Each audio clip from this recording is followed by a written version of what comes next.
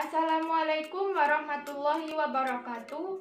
Nama saya Ramadhani Aulia Ahmad dari SMP Muhammadiyah 1 Surabaya. Saya akan menjelaskan tentang coronavirus atau COVID-19. Coronavirus atau COVID-19 adalah virus baru penyebab penyakit saluran pernapasan. Gejala klinis dari coronavirus atau COVID-19 yaitu demam, batuk dan pilek, letih dan lesu, sakit tenggorokan, dan gangguan pernapasan.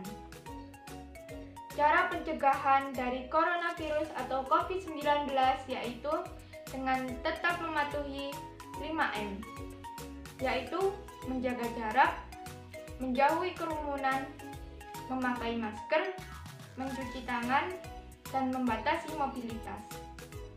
Dan kalian jangan lupa untuk selalu berdoa.